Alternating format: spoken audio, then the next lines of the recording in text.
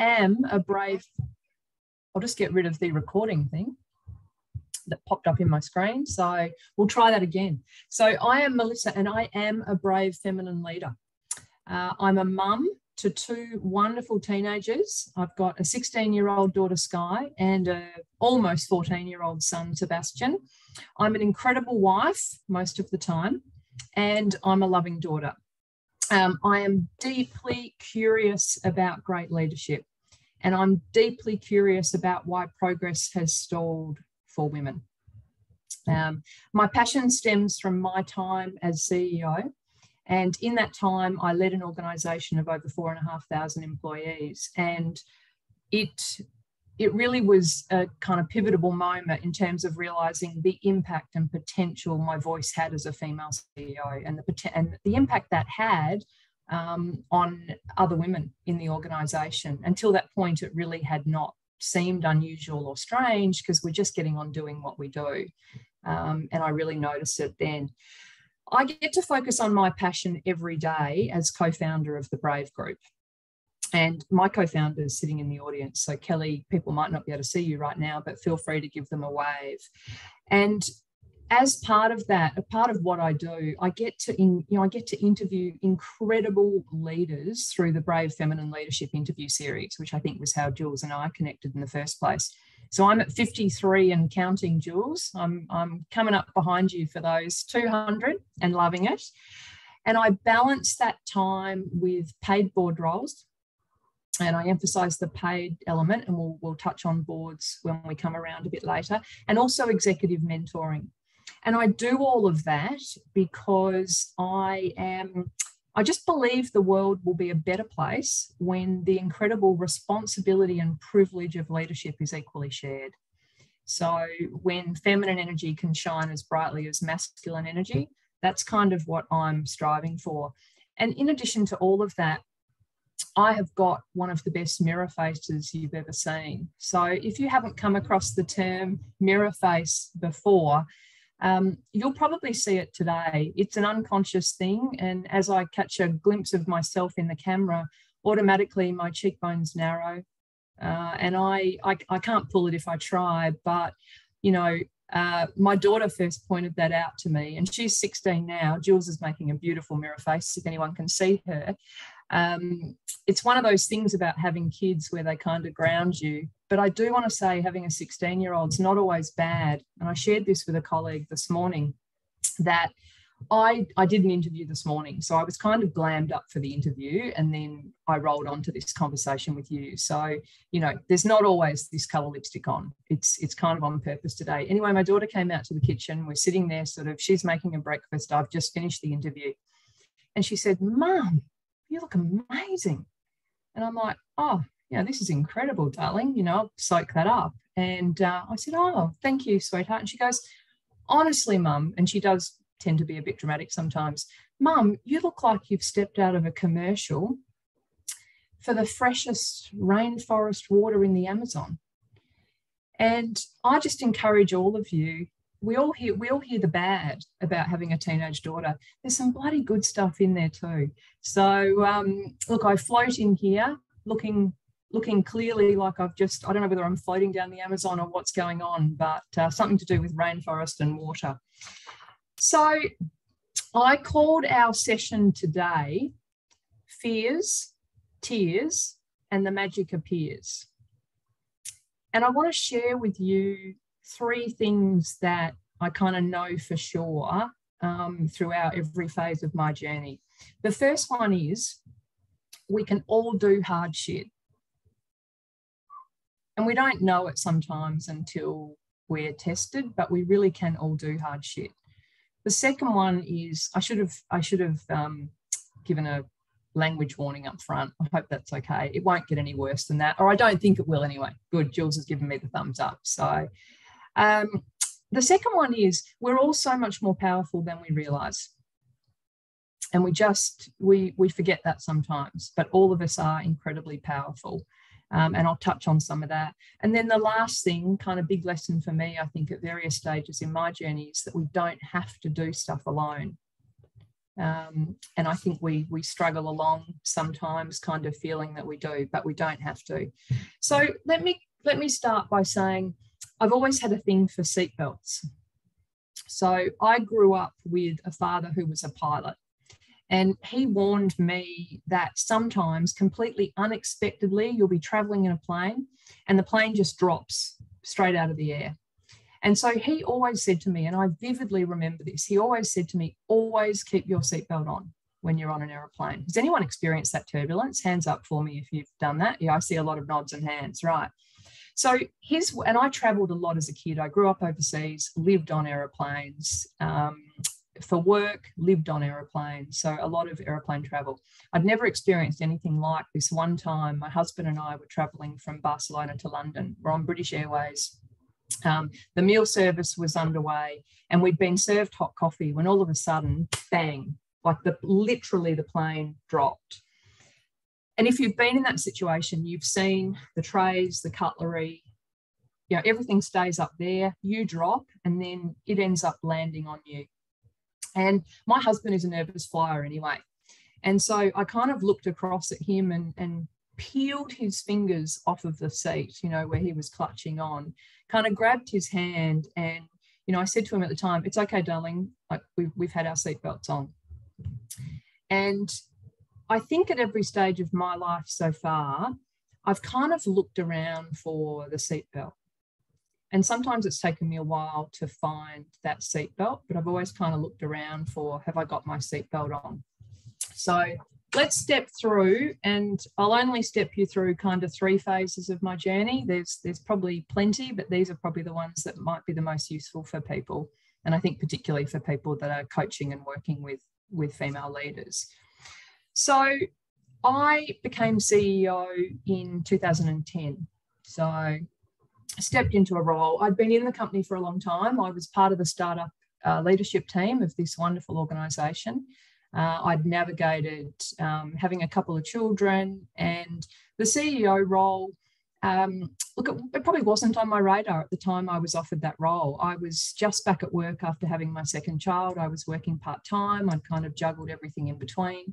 And the then CEO said to me, Here you go, here's this opportunity. And my husband and I took quite some time to think about did I want to step into that?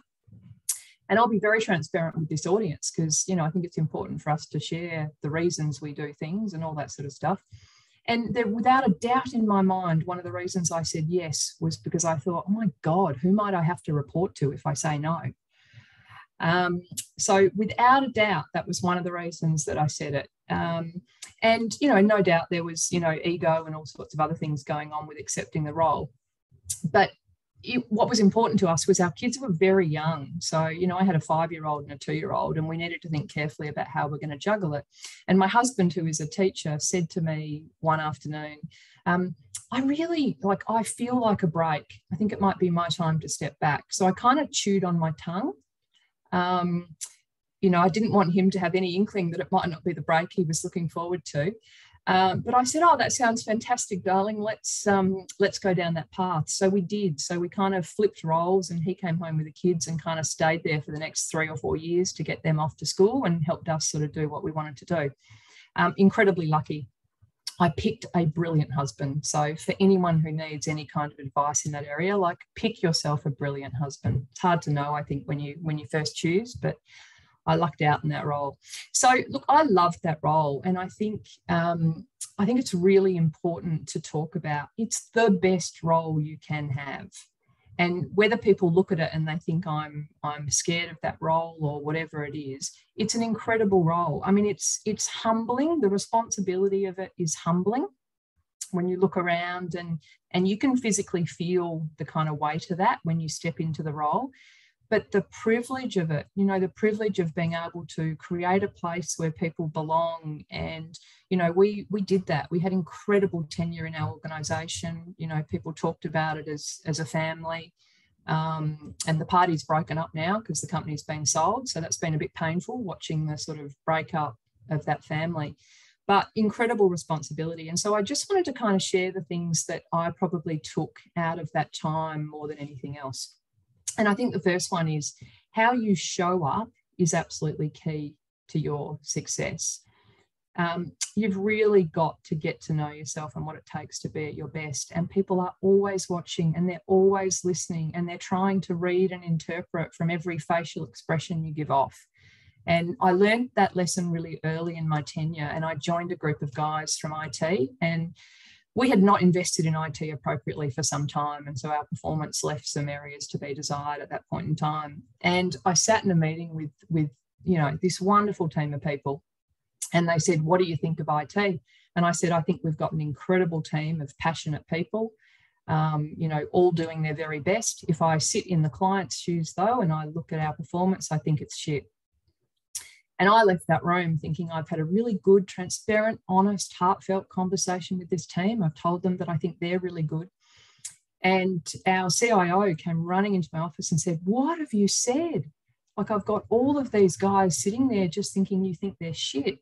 And so I grabbed them all, put them all back in a room, and I said, listen, let, let's talk about what I said. Let's, you know, let's go through this again. And it was the first thing where I thought, I'm going to have to watch how I say things, not just what I'm saying, but kind of how I say things and, and make sure that I've, you know, had people reflect back at me.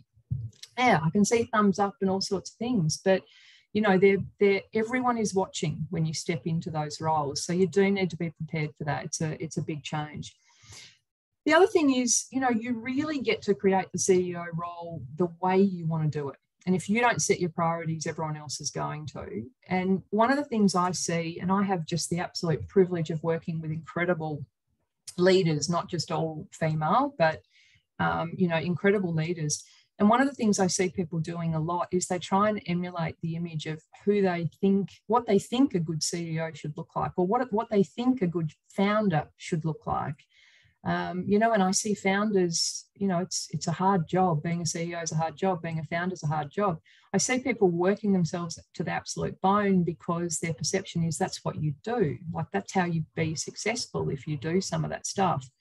Um, and it's and it's not. That's how you burn out.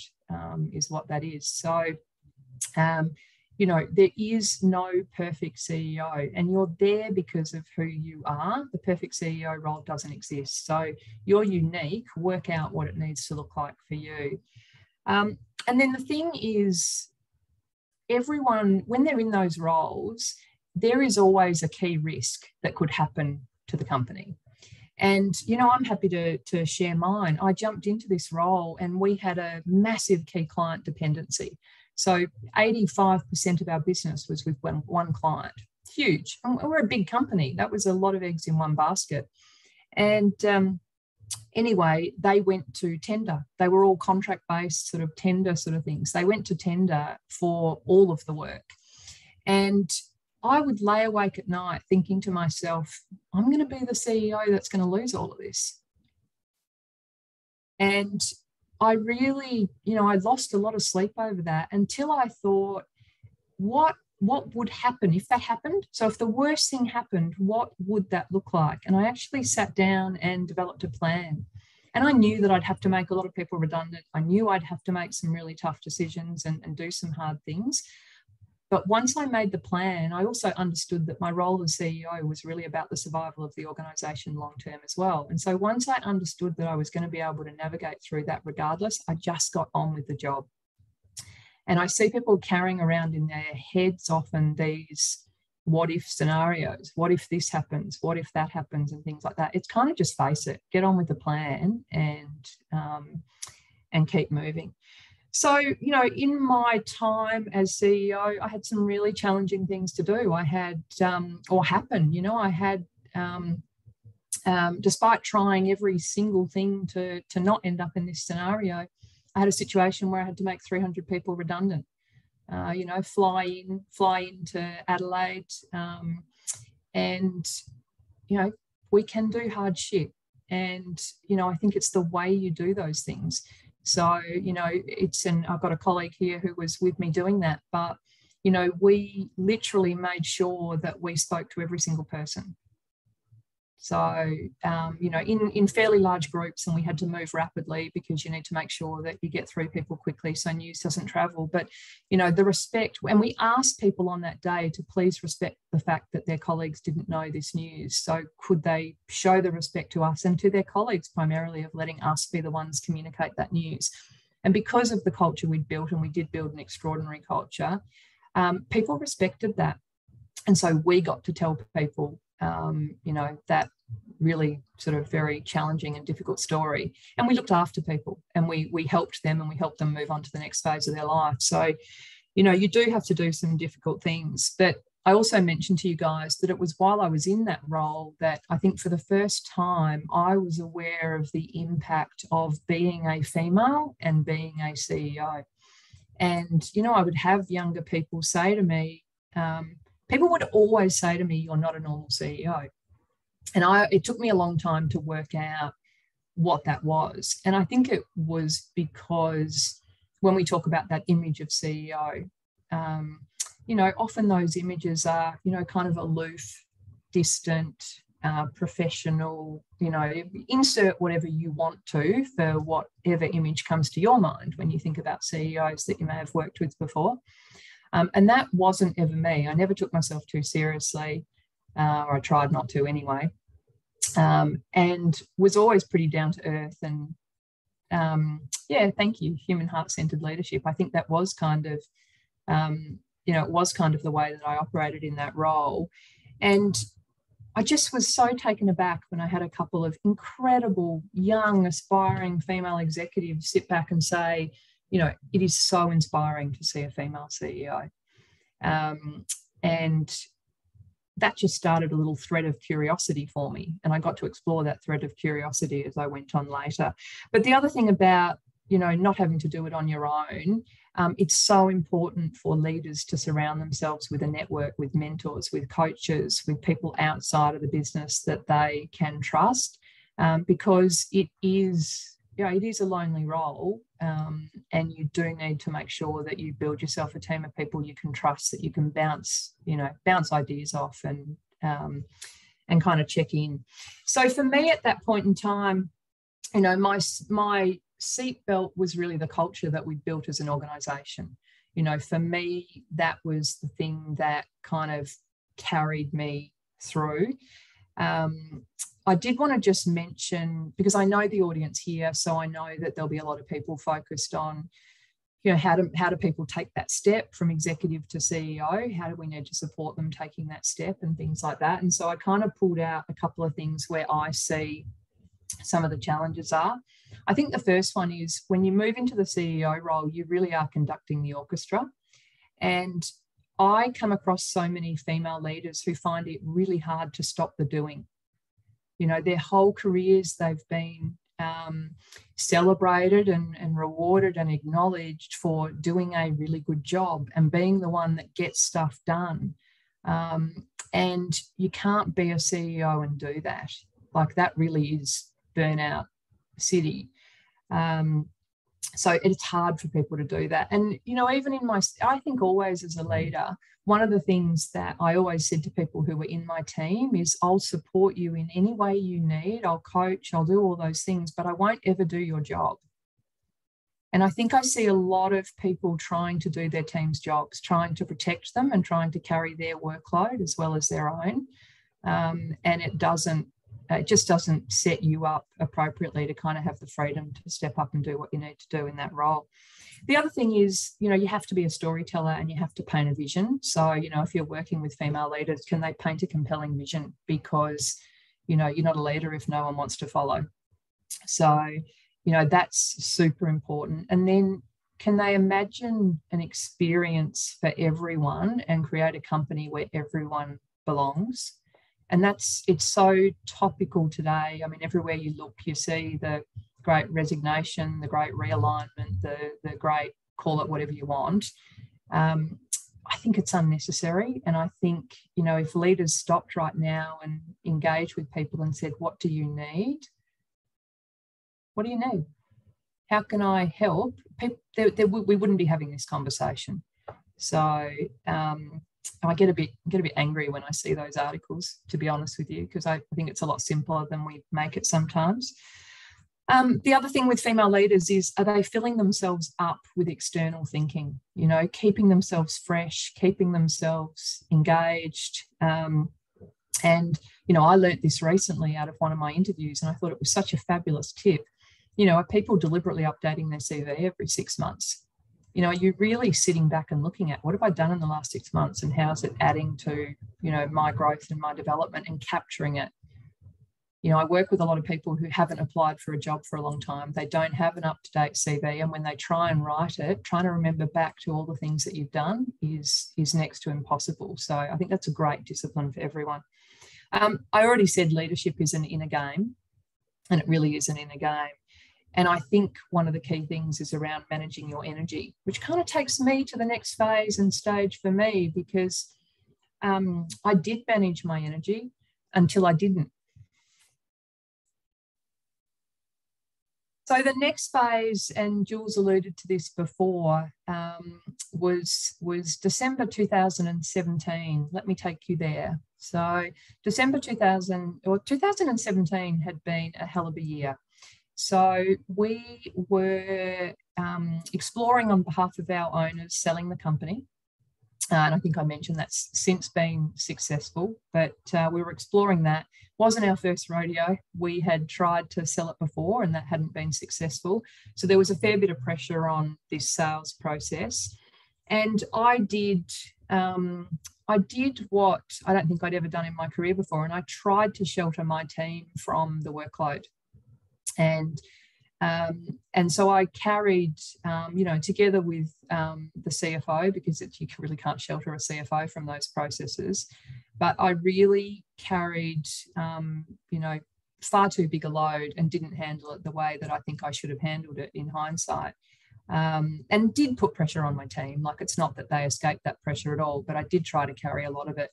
Um, and it was exhausting, and I was renovating a house at the same time. So there are a few things going on in my life. And um, woke up one morning, jumped in the shower, and found a lump under my armpit.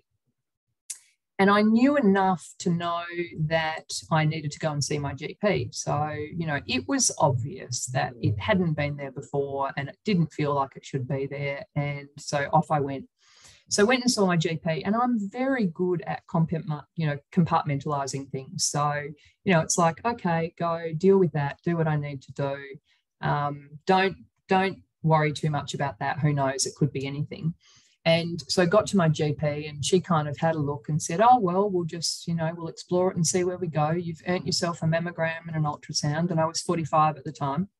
And I'd never had those before. I was one of those lucky people that had no history, had no reason to do any of those things. And whenever anyone talks about the thought of a mammogram, all we hear is, you know, let's take a sorry, Adam, uh, let's take, you know, let's take these boobs, no matter what they look like, feel like, or otherwise, and let's squash them flat.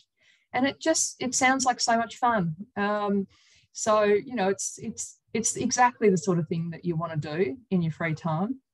Um, so I'd never done it before. So off I went, and you know, I went into work on the Monday. It was a somewhat normal day. We had our shareholders, our owners are from the US, our shareholders were over here. So I met with them and I met with our chairman and we're having a chat about this sales process. And then I had the pleasure, and I'm being sarcastic, of heading off to a client meeting with a client that I really didn't like. Um, I'm super happy to name them. It's so unlike me, but it was one in my entire tenure that I could not stand. And um, that was my last ever meeting. You know, how fantastic. So um, I'll, I'll never forget uh, him. And I left there and I headed off for the mammogram and the ultrasound. And so naive, you know, I go in, I've gone there on my own. Um, I go in for the mammogram first and then for the ultrasound. And then the lady doing the ultrasound, who was lovely, we chatted about puppies and all sorts of different things. Um, she then said to me, Oh, we just want to get a different view. So we're just going to do another mammogram. So why don't you head back into that room? I'm still just going, you know, that isn't that lovely? And, you know, off I go in there. And then when I finished that, they said to me, oh, the, um, and I forget the medical names of all these people, but the radiologist uh, would now like to, uh, to do another ultrasound. So come back in. At that stage, I thought, hmm, that's slightly suspicious, isn't it? I wonder if this is all part of the normal process. Anyway, I quickly found out it wasn't because he then said to me when he finished, When are you seeing your GP? And I said, Oh, I guess when the results are ready, I will. Um, I'll contact her and make an appointment. And he said, Well, I've just got off the phone from her and she'll see you at 11 a.m. tomorrow morning. So if you've ever got any doubt or questions in your mind at that point in time about what they've found, well, that gets rid of those. I remember at the time thinking that guy might have needed a bit more training in how to how to communicate, but he got his message across, and I turned up with my GP the next day. And you know, I would say that it's the first time in my life that I truly felt vulnerable. Up until that point, I would have said, even I would have been pumped up on my own kind of, you know, I can do anything and, you know, all those sorts of things. And it was the first time that I really felt that way. And, you know, I tried to control the elements I could kind of control of it early on, which was things like, well, I'll cut my own hair short. You know, I had long hair kind of down to here. I'll cut my own hair short. I'll shave my own hair off. Um, because you know your hair falls out pretty bloody quickly when you go into that process. But in I went, and in I went to six months of chemo, and then I went through um, mastectomy and reconstruction and I I will tell you that you know every cloud does have a silver lining, and I have really lovely perky boobs now. So, um, not offering to show them, but I really do have lovely perky boobs now, and um, and that's an absolute you know that is a bonus. I would not have been on the beach in a bikini before, and I'll do that. So. Um, and then in I went to, to radiation. It's a hell of a way to get a new set. There's other ways if you want them, ladies. So I'll just throw that out there as well. But um, you know, I went into radiation as well. And you know, I think I learned some big lessons through here, which was, you know, just surrender. And and I learned stuff about myself. I always thought I would be the sort of person that would turn up to these medical appointments and and quiz people around, you know, well, tell me more about this. And is that really the best treatment? And like, no, that's not me at all. I was just like, you just tell me what I need to do. Where do I need to show up? And I will just get on with this. Um, and oh my goodness, the gratitude you feel for the people who've chosen to work in the healthcare sector. Oh my goodness. Um, you know, those nurses are there because of the sort of people and personalities they are, just absolutely unbelievable. Anyway, back to my you can do hard shit um, things. You know you guys can you you can probably if you've got kids yourself you can put yourself in the shoes of this. But having to tell your kids um, you know that sucks. Um, and my son was nine my daughter was 12 and you know those poor little innocent kids no one wants to you know no one wants to go home and have those conversations um, but but you can do it, and you learn stuff about your kids. I mean, just gorgeous stuff. Um, you know, in the middle of the night, I woke up and I heard my daughter was sobbing, and I went in, and my son, bless him, um, you know, we lay there and we chatted and we talked, and he's nine, and he then said, "How about we all meditate?" I'm thinking to myself, has he ever heard anyone in his life meditate? And he goes, just imagine you're on a beach and it's you know all these gorgeous things. And so you do you just learn stuff that is is absolutely incredible about your kids. I was never good at asking for help. You know i i kind of never really needed to. And you know if you're going to learn a lesson around people really love helping other people um, and that it's okay to ask for help then you know again a hard way to do it. But you know you do learn your lesson that way. And stop worrying about what you can't control you know? And so if i come back again to the we can do hard shit we can do hard shit we really can. We're more powerful than we know. And you know for me as an example and, and for any of you guys we have these networks of people that we're connected to. So how do you kind of influence them and what do you take out of every situation you go through? And as i said to you being 45 and never having had a mammogram before it wasn't on my radar. Well you can bet your ass it was on the radar of everyone in my network as i went through this um, you know, and I, I was really vocal about it. Go and get a mammogram. You know, I'm posting on every channel known to man pictures of boobs and say, go and get them checked and stuff like that. So, um, anyway, that was the kind of second phase. And and then we get to the reinvention phase. And um, I want to make sure we've got good question time. So it's probably, Jules, maybe another 10 minutes if that's okay in, term, in terms of talking. So um, I probably should have shared at the start that I can't quite like talking. So, um, so I finished all my treatment. It was about 18 months all up. And it was kind of like, where to from here? I just I knew that I didn't want to go back into executive roles. And I've had people ask me, you know, you love the CEO role so much, why didn't you go back and all that sort of stuff. It's time for a change. I didn't know what the what was, but I knew that it was time for a change. And I really needed somewhere to point. And so for me, I I I knew what I didn't want. I didn't want to travel, and my kids were teenagers or become, you know, they were going to soon become teenagers. And I'd always said to myself, I want to be home when they're teenagers. I don't want to be on aeroplanes, away in hotel rooms, and things like that. I might have an ask about, I don't know, but it was kind of like when they don't want me around, I, I want to be there. Um, so it's kind of working out okay for all of us. We're we're still living under the same roof at this stage.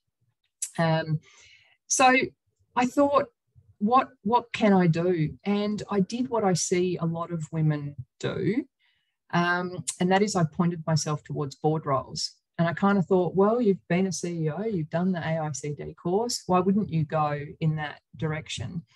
And you know, people tell you all sorts of stuff you want to hear, like, oh wow, you've been a female CEO, people will love that, and you know, all those sorts of things. And I, I, I do have I've got two board roles now. I had three, but we sold the company. But I quickly kind of found out that it wasn't it just wasn't filling me up, and I needed something more than that. Um, I also took the opportunity, you know, I was very fortunate. I had people ringing me saying, could I come and help them out? Could I come and do consulting? And, you know, so I said yes to all of those things that came my way. I said yes. And when I look back on that, you know, really, I think that I said yes from a place of fear. Um, you know, a fear of not being relevant anymore.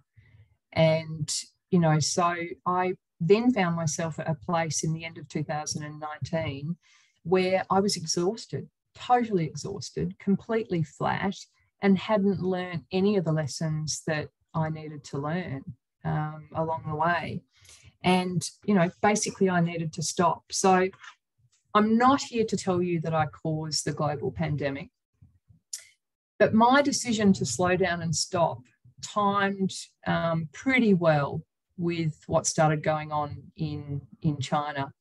So it was really interesting, you know, universes align and all that sort of stuff. I didn't mean I wanted to stop quite as completely as that and as completely as, you know, as everyone has for a period of time. Um, but I did need to stop. And so I was very deliberate about saying, I'm not saying yes to anything for three months. I'm going to give myself this space to, to stop. And I have to say, it was the first time in my career, really, where I stopped. Uh, you know, like so many um, women and like so many leaders, um, I'm very good at doing. I'm very good at getting shit done um, you know, very good. I would always tell myself, very good at multitasking.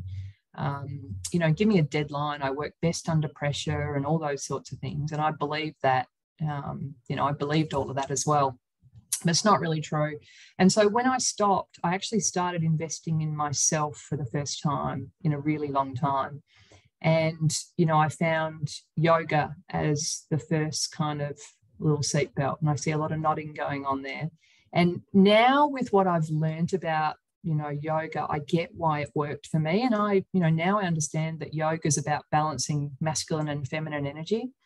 And I had really always operated from a space of masculine energy. In fact, I remember this guy saying to me at one point and kind of thinking it was a compliment. I know he meant it as a compliment, but he said, Oh gosh, I really love working with you. Like you bring a real masculine energy to, you know, and I know that he meant logic and rational and considered and all these sorts of things. But it wasn't until I looked back that I thought it's a really unusual comment to to make. But I did, I think I did operate from a very um, uh, not male, I don't mean that, but but a probably masculine sort of energy space. hadn't made as much time for you know the feminine energy side of things. And when i say feminine energy i am talking about being and stillness and intuition um, open to seeing possibilities not having a path that necessarily goes from a to b. You know a, maybe a circular path not necessarily a kind of straightforward linear path and so yoga was was pretty important to me at that point in time. And then i started invest you know investing in myself from a nutrition point of view saw a naturopath got myself kind of you know got rid of all the toxic crap that had gone into my body not just going through chemo but you know probably for years of uh, corporate executive lifestyles before that as well. And in stopping i think for the first time i listened to myself. And i'm a good listener um, and um, I think it is one of my superpowers. But I had always been listening to everyone else. And I don't think I had stopped to really listen to me and, and kind of work out what this next phase of my journey needed to be about.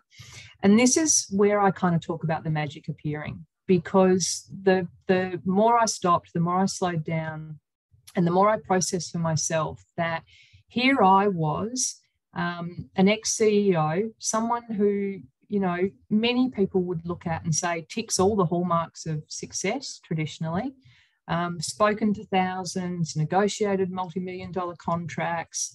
Um, led four and a half thousand people successfully, kicked goals in terms of you know performance and things like that. And here I was sitting there thinking, what am I going to do next? And how am I going to show up? And who would be interested? And what would I have to say that people would want to know about?